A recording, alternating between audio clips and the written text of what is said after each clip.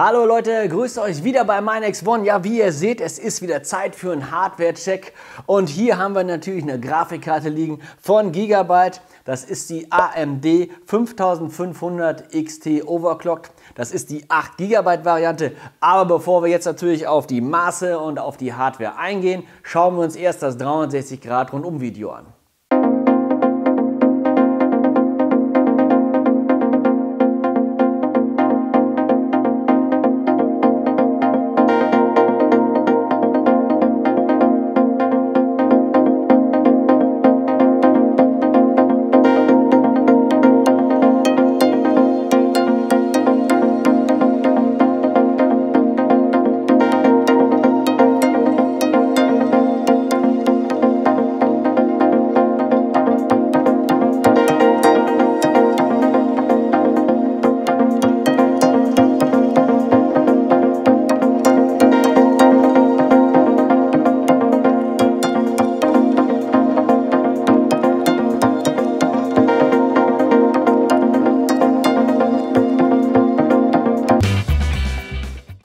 So, als erstes natürlich vorweg die Frage, warum haben wir diese Grafikkarte gewählt? Es ist eine ganz einfache Sache. Wir haben einfach ein Budget von 200 Euro und die schwimmt immer so bei 180, knapp über 200 Euro. Von daher passt die schon mal vom Budget her. Und es geht jetzt nicht darum, eine, ich sag's mal, bei eBay zu kaufen oder 450 Euro auszugeben, sondern wir wollten eine neuwertige für um die 200 Euro. Deswegen haben wir uns jetzt für dieses Modell entschieden. Man hätte natürlich auch eine 580 nehmen können oder eine 590.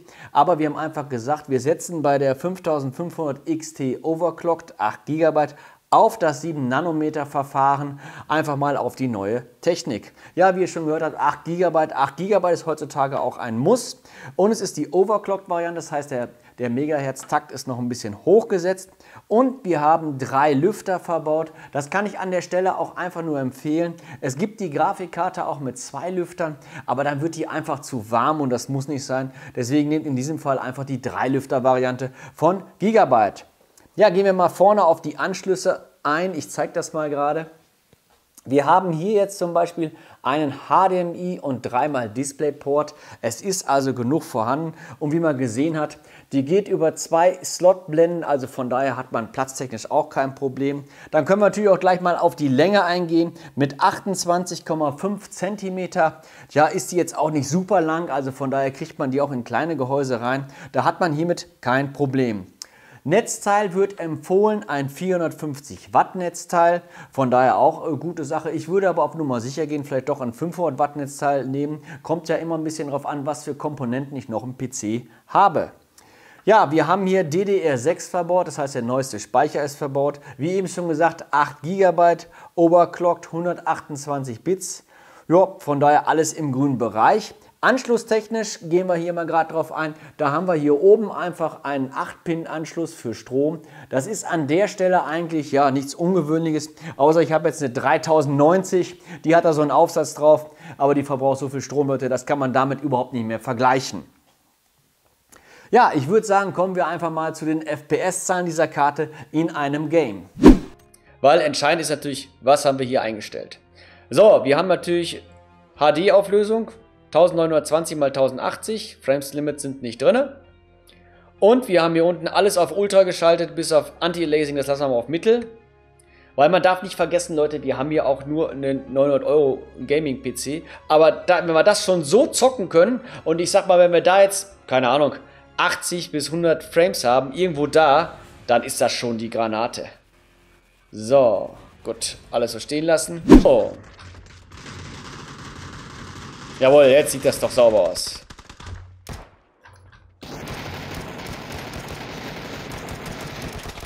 So, was sagen die FPS-Zahlen? 86, 89. Leute, ihr dürft nicht vergessen, wir haben es auf Ultra gestellt. Und wir haben HD.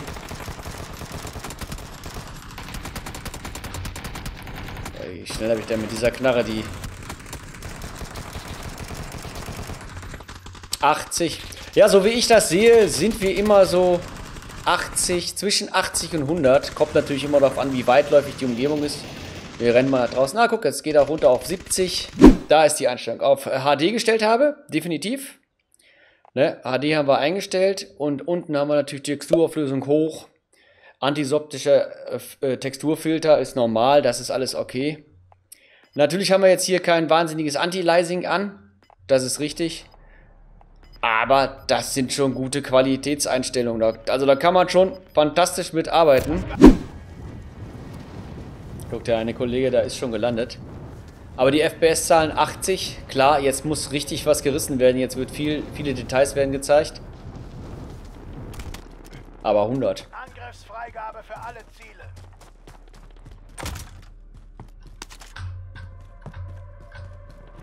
...122 Frames. Ja, es kommt natürlich immer darauf an, wie viel, wie viel Blickfeld man hat.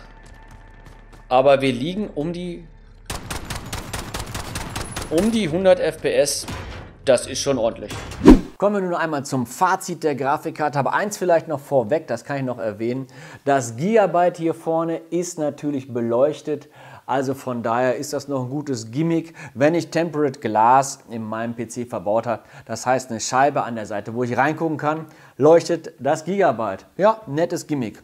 Ja, was sollen wir sagen zu 200 Euro? Man darf es natürlich nicht vergleichen mit einer 500 Euro Gaming-Grafikkarte und auch nicht mit irgendwelchen Gebrauchten, die ich bei eBay mir dann doch für 200 Euro gekauft habe. Das auch nicht. Nein, es sollte ja eine neuwertige sein.